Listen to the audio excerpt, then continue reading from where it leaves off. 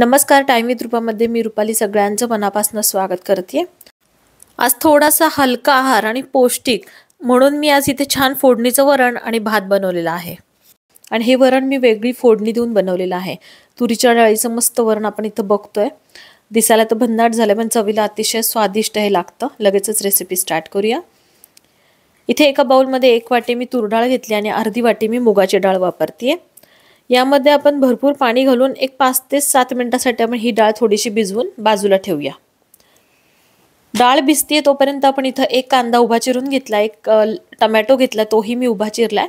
थोडीशी कोथंबीर जी आहे ती पण मी बारीक चिरून घेतली आहे कुकर आपण घेतोय कुकरमध्ये आता अर्थातच डाळ मी धुवून घेतली आणि त्यातलं पाणी काढून टाकलंय. आणि कांदा टमॅटो कोथंबीर आपण इथं काढून घेतोय. त्याचप्रमाणे सुकी लाल मिरची आपण इथं एक घेतोय. दोन लवंगा दोन काळी मिरी आणि दालचिनीचा छोटा तुकडा मी घेतलाय.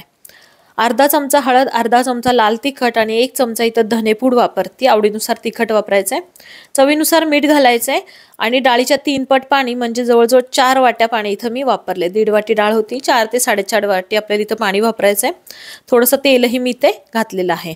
मध्यम आचेवरती आपल्याला चार शिट्ट्या इथे करून घ्यायच्यात.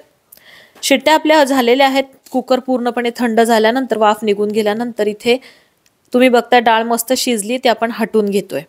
आता एक छोटासा तडका आपल्याला द्यायचा आहे दोन पळी तेल घेतले यामध्ये जिरं मोहरी थोडंसं हिंग त्यानंतर परत एक सुकी लाल मिरची घातली आहे तमालपत्र मी वापरते सात ते आठ लसणाच्या पाकळ्या बारीक चिरून घेतल्यात. लसणाच्या पाकळ्या लालसर झाल्यानंतर यामध्ये कश्मीरी मिर्च अर्धा चमचा आणि अर्धा चमचा आपण इथं कसुरी मेथी घेतली आहे व्यवस्थित तडका आपण तडतडल्यानंतर इथे वरणावरती तो काढून घेतोय.